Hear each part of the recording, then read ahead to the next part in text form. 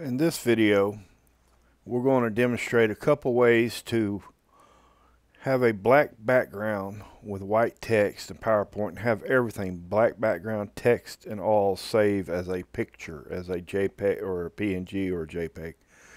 Uh, we're going to do it in the most simple format where we will be able to right click and go save this picture. And we will do in uh, one with a title box and a content box. We won't be able to right click on this one, but I will show you how to save them as a picture. So right click won't work on this. Just a quick uh, backstory on this. I spent literally hours Googling, YouTubing, trying to find answers to this. I even called my sister in South Carolina who works with PowerPoint quite a bit, and even she didn't know how to do what I was wanting to do. Uh, I was having a problem where it was either saving the background or saving text without the background. It was, just, a mess. It took me a long time. I finally figured it out. So let's get started. Let's go to File, Blank Presentation, and let's go ahead and just get rid of everything here. This is going to be the most basic first. So we have a blank screen here. Now what we want to do is we're on our home tab. We want to go over here to the shape box and we want to grab this rectangular shape go up to the top corner, click, left click, hold down, go to the bottom corner, and then go up here on your shape styles and we want to select black shape with white text. And let's just type some text. This is some text. Now, we're probably not going to want it right in the middle like that all the time, so let's go back to our home button and let's left align it. Now you notice it butts up all the way against the edge, and that's no good. You want a margin, right? But uh, first, let's just show how uh, if we right-click this, we can save this picture. And it's PNG one, we'll just stick it on the desktop. And and there it is. So everything worked correctly that way.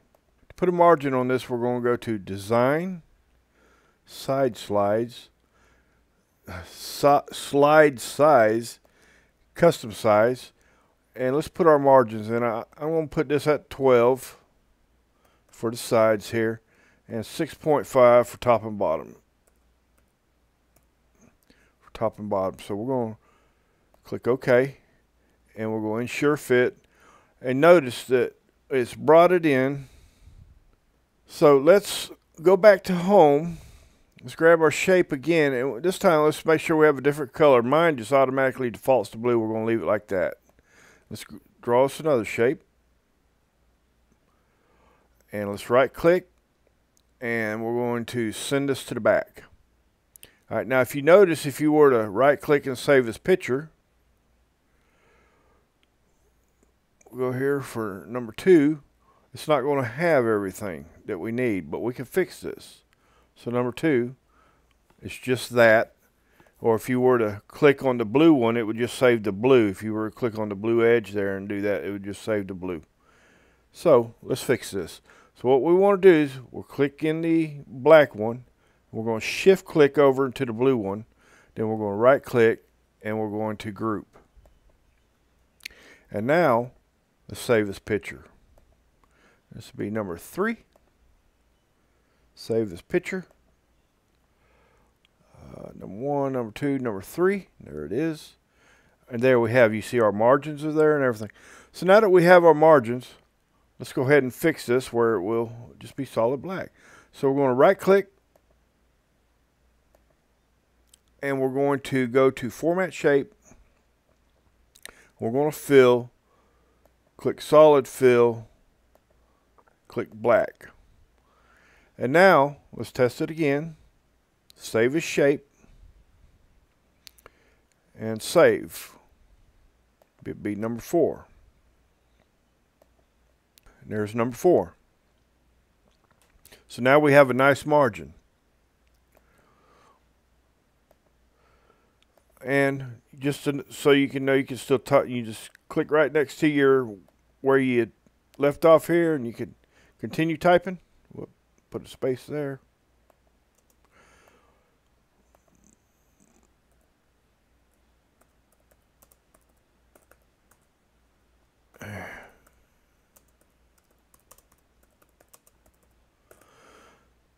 And then, of course, you can right click, save this picture.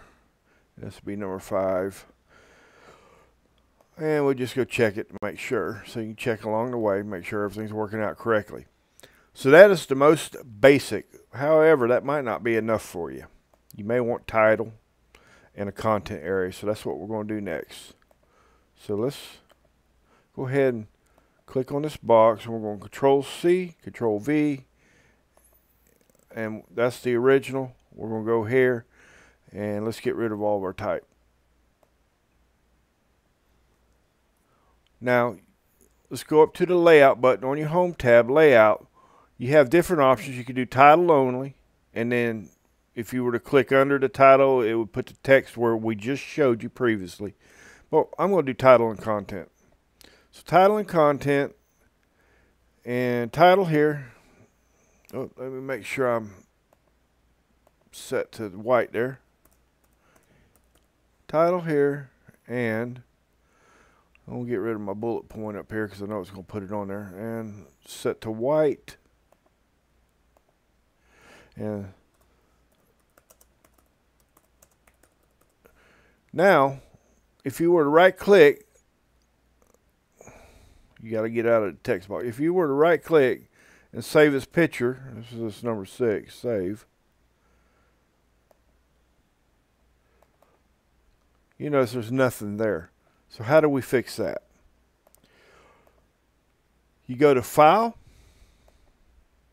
Export, change file type, type uh, JPEG interchange format or PNG, either one, and then save as.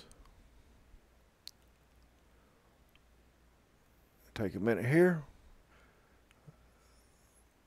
Just takes a minute. You notice it's grayed out. You got to wait till it's not grayed out to do anything. So to save as. We're just going to call it title uh, JPEG, and we're going to save it to the desktop. And it's going to give us one more prompt. Do you want to save? Do you want to save all slides or just this one? If you make a series of slides, it will save them all correctly. Or if you have just the one, so you just it's your option, but I'm going to say all slides.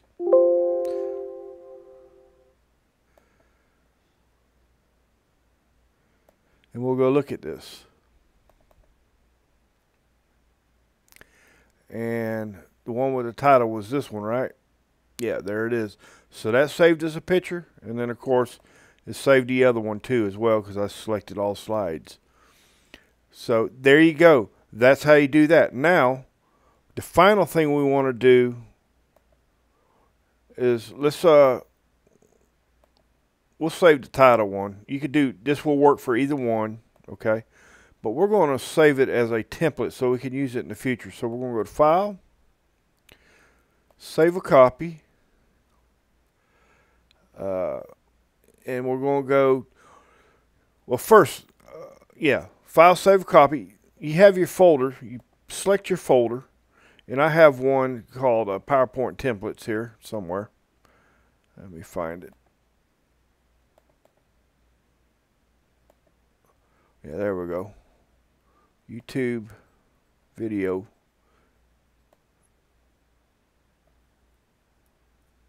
YouTube video.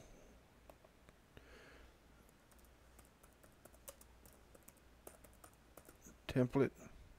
And we want to do, from the drop down, we want to select PowerPoint template. And then we want to save that. And then got it. Now, on on this one, we can do either one. Will show up as a template. We anytime you pull the template up, you're automatically going to want to resave it as whatever name, whatever file it is. You don't want to change your template, so that's very important to remember. Because any changes you make here, if you turn on autosave, if it's on, if you were to do that, turn it to on, which I'm not going to do, it will change your template. So just make sure when you open up your template, you go ahead and save it as a regular PowerPoint, uh, not PowerPoint template, and then uh, you're good to go and you won't mess up your template. That's all there is to it. I hope uh, I've saved some people a lot of time searching because Believe me, I have been through some videos and I have been through some web pages, and nobody, I mean zero, showed me how to do what I needed to do. So I hope this saved you some time. And uh, if this video helped you, how about leaving a like, a comment, subscribe, share this channel with somebody. I sure would appreciate it. And you have a good day.